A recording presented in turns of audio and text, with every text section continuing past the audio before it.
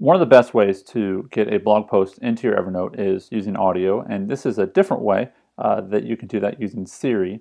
So with Siri, you can send an email. So you just want to add your Evernote email address. You want to create a new contact in your iPhone or device uh, that is just called Evernote, and then you can send emails to them. I'm going to show you how. Send an email to Evernote.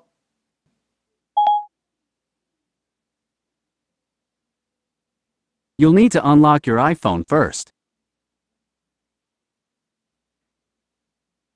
What's the subject of your email? This is an example of a blog post, hashtag blog. Okay, what would you like the email to say? This is the main text of the blog post and it will sometimes mess up the words, but overall it's a pretty quick way to create a blog post, period. But you can keep talking and it will make it even longer and longer and longer, period. Just keep talking and you can even make a period new line. Here's your message to Evernote. Okay, I'll send it.